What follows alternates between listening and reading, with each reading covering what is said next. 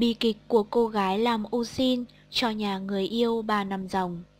Theo chuyên gia tâm lý Trịnh Trung Hòa, không ít cô gái cho rằng mình lan lộn ở nhà chồng tương lai, thể hiện mình là dâu hiền, vợ thảo thì người ta sẽ phải nhanh chóng cưới mình.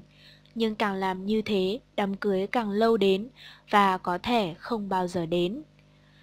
Em năm nay 23 tuổi, đã ra trường và đi làm được gần một năm.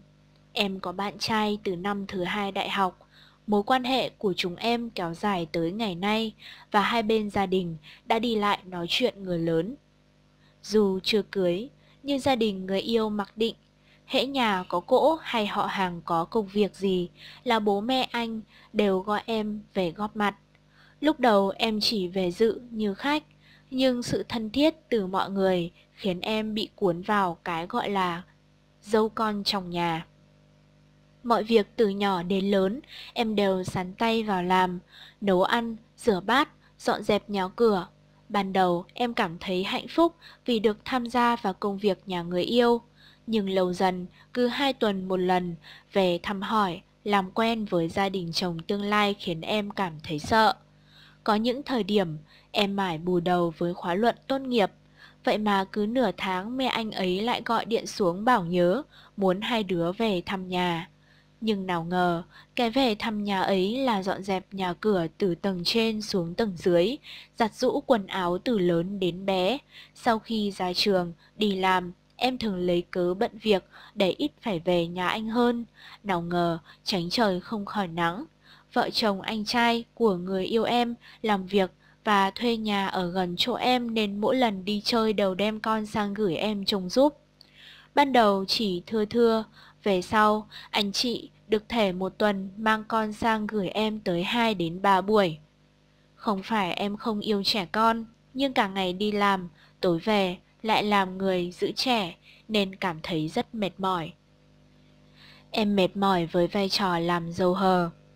Điều khiến em mệt mỏi và cân nhắc đến chuyện từ hôn là mặc dù đã ra trường gần một năm, công việc ổn định, rồi nhưng em vẫn chưa thấy gia đình anh đả động gì đến chuyện cưới xin.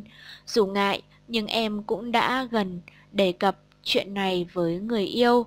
Nhưng anh ấy lại nói bố mẹ muốn chúng em ổn định hơn nữa rồi mới cưới. Nghe bố mẹ nhắc câu, con gái có thì, em chỉ muốn đề nghị trả lễ, từ hôn và nói lời chia tay với anh để tìm cho mình một cơ hội mới, chứ sống mãi với phận dâu hờ thế này, em mệt mỏi và tự ái lắm. Em rất cần lời tư vấn của chuyên gia và bạn đọc để có quyết định sáng suốt.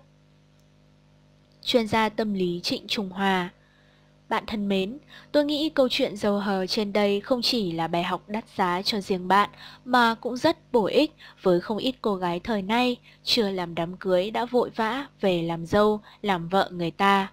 Có lẽ bạn nghĩ rằng đó là cách thể hiện mình là dâu hiền, vợ thảo thì người ta sẽ phải nhanh chóng cưới mình. Nhưng bạn không biết rằng càng làm như thế đám cưới càng lâu đến và có thể không bao giờ đến. Gia đình anh ta muốn có con dâu để lau chùi dọn dẹp nhà cửa, làm cỗ, rửa bát trong những ngày dỗ Tết. Vì thế cứ ít hôm lại nhắn gọi bạn về để làm những việc đó và bạn cứ ngoan ngoãn về, nai lưng ra làm việc cho họ. Tôi đoán là trong những ngày bạn ở đấy, chắc ban đêm cũng chung phòng với anh ta như vợ chồng. Vậy thì việc gì họ phải cưới bạn nữa? Cho đến một ngày, chính người yêu của bạn sẽ nhằm chán bạn và lại nổi máu thèm khát những cô gái khác. Giống như đàn ông có vợ thèm đi ngoại tình. Và thế là cuộc chia tay diễn ra trong thất vọng ê chề thuộc về người con gái. Trong mỗi đàn ông luôn tiềm ẩn nỗi khao khát của lạ, cho dù không hơn của quen. Muốn cho người yêu cưới mình, đừng bao giờ làm vợ anh ta trước khi cưới. Nếu anh ta càng khao khát được làm chồng bạn thì ngày cưới càng đến nhanh. Nhưng nếu bạn đã là vợ anh ta rồi, động cơ cưới sẽ giảm đi, thậm chí mất hẳn.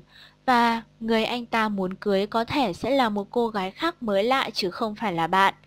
Tôi đồ rằng người muốn trì hoãn đám cưới chính là người yêu của bạn, chứ không chắc đã phải là gia đình anh ta đâu.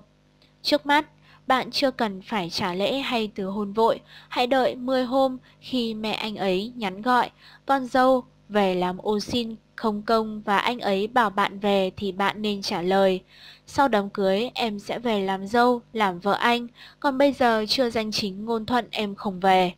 Nếu anh ta còn muốn cưới bạn thì anh ta sẽ xúc tiến việc đó, còn nếu anh ta vẫn định kéo dài vô thời hạn thì bạn cần đưa ra một cái hạn và đến ngày đó nếu anh ta vẫn không muốn tiến hành việc cưới hỏi thì bạn hãy trả lễ, từ hôn. Bạn mới 23 tuổi, tương lai hãy còn dài.